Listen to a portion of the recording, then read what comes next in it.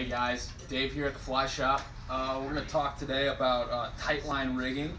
Uh, people call this Czech nymphing, European style nymphing, 10 other names, high sticking, um, dapping, a um, lot of different names for it. There's even more rigs for it. Um, so uh, I'm going to call them tight line nymphing because it's all essentially the exact same thing. The idea is no indicator. Um, and you are you're fishing basically under your your rod tip um, rather than casting and um, um, with an indicator or swinging a fly or something like that. Um, deadly, deadly, deadly short uh, short game kind of rig. A um, little different than what you're used to. I would highly recommend not going against. Um, some folks will just take a knotless tapered leader like you use on your indicator rig and chuck that out there it may work just fine. Um, you're going to notice, um, since it's really thick diameter up top, um, 40 pound in most cases, um, that stuff's going to give you micro drag. It's going to drag your, your whole rig. What I recommend doing is starting with a, some kind of sighter material we carry this really cool stuff from Scientific Anglers. This is hands down my favorite stuff made. Rio makes one too. Um, in my opinion, this stuff is is superior, mostly because it's tri-colored. Everybody sees color differently, um, and the Rio stuff was was chartreuse and orange. Um, too brightly colored thing. I was tying Amnesia this color together for years before this stuff came out. You, it works really well. I find that this white, this milky white color is really visible in I think more situations than the really bright stuff. So this milky white color, um, I love it. I think this stuff is, is key.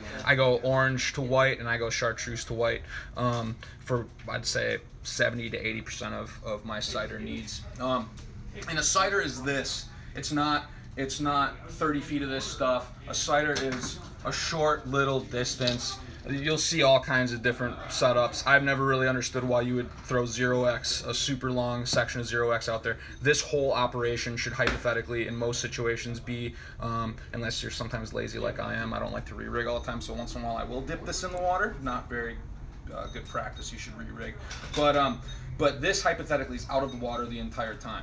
Um, I go to a tippet ring off this sighter material. Um, and the reason why I'm tying a tippet ring to this is because this is 0x. This is really thick diameter tippet, and you all know these, it's really tough to tie a good knot um, to say 5x or 6x. Because we're gonna go from your sighter to your lowest diameter tippet. We're not gonna bother tapering down like I would normally if I was gonna actually be casting. Because I'm just dipping the, dipping the fly in the water. Um, I'm not even I'm not even needing to cast at all. So I'm going right to my lowest diameter um, tippet just to reduce that micro drag that we were talking about earlier. So that said, um, the next biggest question I always get is, well, how far do I put this from my bottom fly? Well, just like with your indicator rig, I wish I could just tell you it's five feet everywhere you go, and it would be the easiest job in the world if that was the case. Um, water's different. You have different bottoms, you have different currents, you have, um, you know, um, water's moving at different speeds. Um, different people like to put a different amounts of weights and things on their rigs. Um, so there's a million variables that go into this. Tight lining is a little easier because you actually feel um, your anchor fly, which is your bottom fly in most situations. You feel this bumping across the bottom, ding, ding, ding, ding, ding, ding, ding. And it's really easy to tell a, a, bump on a rock from a fish grab. Um, a lot of times you'll feel that way before if you were fishing with an indicator. This indicator won't even move a lot of times, um, but you'll feel it on a tight line rig. That's, that's where the huge advantage is. So this bottom one, I call it an anchor fly. I think there's a few other names out there for that. Um, and then these off off of that, um, you can call them droppers, you can call them top flies, point flies, whatever you want to call them. Um, but I did this one a little differently. You can do this. I've, I've, did it. I've done it for years, where you just tie in line like you normally do. So if I just tied eye to eye, you know, um, tie to the eye of the hook, and then say I tied a clinch knot off the bend of the hook. That's possible too. I started doing this because these two flies move independently. I feel like that top point fly, or whatever you want to call it, gets a little more play. Um, the other thing is, is, I get this question all the time. People are like, well, doesn't it tangle up constantly? Never will tangle up. Absolutely not. Everything untwists perfectly when you do this. So how did I do that? I just tied a, another little section of, I'm using 5X all the way through. I tied another little chunk of 5X, tip it on there with a blood knot. If you get really close in there, you can see it's a blood knot. Um, I burnt my ends, disregard that. But, um, but for example purposes, not a big deal. Um, so I just tied a blood knot, very different from a surgeon's knot. A surgeon's knot won't give you this 90 degree um, this 90 degree here that I'm looking for. If you did a surgeon's knot, this is gonna be almost parallel with this, and then you are gonna get a lot of tangling, and this is just gonna wrap around this left and right. Um, with this setup, 90 degrees off with a blood knot is practically impossible to get this thing to tangle up. Um, so I highly recommend a blood knot. And then all I did is I just left one of my tag ends long. Cut the other one off and left one just long. So that's that's uh, that's how I do that. Now, how far do you put your your anchor fly from your rod tip? Well, with an indicator rig, it's really easy just to put it wherever you want, and um, you know, short, you know, anything less than nine feet is easy. With a tight line rig, you're gonna know if you have too much line in the water because your rod's gonna be this high in the air. I have really bad shoulders from previous injuries, so I can't, I'm not even able to do that whole thing. I have to re-rig. For me, what's comfortable is is when I'm when I'm doing my when I'm doing my actual uh, um, fishing, I like to keep my arm in like this. If I keep it out like that or anything like that, it gets really tired really quick for me.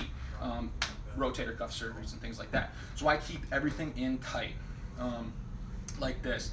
I feel like I can fish all day like that with no problem. So that said, if I'm right here and I'm keeping my sighter out of the water, I really need to be watching this, um, how much tippet I'm putting on off of this. Um, I definitely want to be bumping the bottom. Um, and at the same time, I don't want to, you know, have so much tippet where my rod's up in the air or my, my sighter material is in the water. So that's the other advantage of having this tippet ring here. Um, you know, if I need to shorten this up, all I would do is cut this off, shorten up to about where I think I need to be, tie that on there with a clinch knot. Um, nothing fancy. If I needed to go a little longer, it gets a little more difficult. I would cut off at this bottom, this bottom fly here, and I would just have to re-rig. Um, I'd have to add some some distance between these two. Um, but that is about it. Um, so these tippet rings we sell from uh, Angler's Image. I show this to people and they're like, no, I don't want a snap swivel. This is not a sweat snap swivel. This is a snap swivel holding 10 tippet rings. So if you look really close in there, you're gonna see 10 two millimeter tippet rings. Um, and I'll tell you this too. Uh, one thing that I've gotten I've, I've started doing, and again, I, I take shortcuts. I'm, I'm, I'm, often lazy fisherman, but um, if I do get in a situation where I need to cast just a little bit further, um, and, I, and I don't want to re-rig my entire thing and put a put an indicator on and things like that. What I what I started doing was I cut this off here right at my contrast point, right between my white and my orange, and I'll tie another blood knot there, and I'll leave my tag ends a little long, just these little helicopter uh, blades sticking off the sides here. Um, when you're fishing like um, like um, relatively unweighted stuff, these heavy anchor flies wouldn't be the best. But um, for um, fishing like um, any emerger pattern or anything that doesn't have a whole lot of weight in it, you can actually use that as your indicator. Um, it works really well. Um, in a in a jam, it's not as good as an indicator. You can't cast and see that distance, but if you tied a knot right there, um, it'll it'll help and, and, grease it. You know, put Mucilin on it or uh, or some kind of floatant on it, and um, you'll be able to see this contrasting point. These two little uh, tag ends hanging off here. One will be white and one will be orange. Really noticeable. Um, I'll do that. That's a cheat. That's a little cheat thing that I'll do. The other question I always get is how do you attach this to your fly line? Well, to be perfectly honest with you, on this rig, I don't bother with a fly line.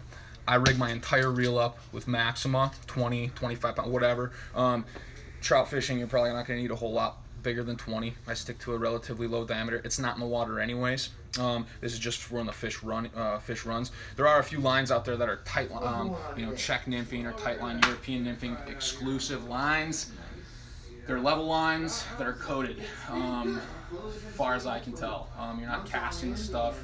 Um, Maxima works awesome and it's uh, priced uh, right um, for me, anyways. So what I'll do is I'll tie a uni knot from my Maxima to this. Bam, real small, easy connection. Um, if you are fishing with a fly line, which I imagine most of you are, you're gonna notice this stuff is gonna, after several large fish, this thin, thinner diameter, this is 0x, this is the one size they make it in, um, which is a good, that's the size I want it in. But if you try to loop to loop this to your fly line, this eventually will start cutting into your fly line. So think about maybe looping a uh, butt section on there, um, you know, a loop to loop on your end of your fly line with uh, 40 pound um, Maxima or Amnesia or whatever you prefer. Um, and then attach it to this because it's not going to cut into the monofilament, but it will cut into the coating of your welded loop on your fly line. So keep that in mind. The easiest way, honestly, if you have a if you have a dedicated tight line rig, which I would recommend having. Um, it's really it's deadly having a tight line rig and an indicator rig. That's 90% of what I'm carrying. If I'm carrying anything else, it's a dry fly rod. Um, but those two rods will get it done at 10 foot, uh, 9.6 um, generally, um, just for that extra reach um, on your rod. Um, but I would highly recommend a dedicated setup, and I would just uni knot your, your butt material, your, your butt section to your to your level line um, or Maxima, or you could probably try SlickShooter or something like that too. Wouldn't be necessary. Um, you're not picking line up really up with it or casting at all. It's just for when fish run. Um, so that is that. I'll say one more thing. Um, so if you're going from trout to steelhead, because this is a deadly steelhead tactic as well, um, all you need to do is cut your 5x or your 6x off right at the tippet ring, put 2x or 0x or whatever you want on there. You're ready to roll. This part that's on that's on the end of your fly line really doesn't need to change at all, or you're not your fly line, but your um, your running line or your Maxima or whatever. Um, this part doesn't need to change. This stuff will last a long, long, long time. Um, this part right here, you just cut it off if you're gonna go, you know, fish for something else. Tie 2x on there, tie 0x on there, whatever you want to do. Um, so it's a really cool, dynamic uh, setup. The the um, Loon makes uh, rigging foams and things like that, where you can take, like I could take this rig that I was just fishing some, you know, um, one foot riffles with, and I'm gonna go fish the six foot hole, but I'm gonna head back to the riffles afterwards. I'll take that, I'll take that little section there, put it on my, my rigging foam, and then when I head back there, you know, in, in the next 20 minutes or something, I'll just throw that one on there. Um, we're good to go. We don't have to re-rig. Um, and I'll have that. I'll have by the end of the day, I'll have at least four rigs on my rigging because you change your depths constantly. There's never a set it and forget it. Unfortunately, I wish fishing was all five feet deep and was just the same depth the whole way, same you know all that stuff. But thankfully, it's not that easy. Um, so uh, so yeah, so that's tight line rigging or European style Czech nymphing, whatever you want to call it. Um, that's basically the same.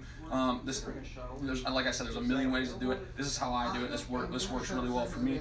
Um, any other questions about it? Uh, don't hesitate to uh, give us a ring here at the Fly Shop, um, or uh, shoot us an email. Whatever the easiest way is to get um, for you to get a hold of us. Um, ask us any questions you may have about it, or any other topic.